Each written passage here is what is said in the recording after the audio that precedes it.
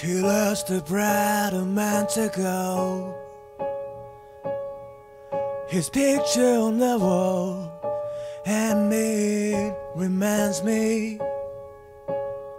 She said she gave all her love to me. We dream a new life, some place to be at peace. But things changed suddenly.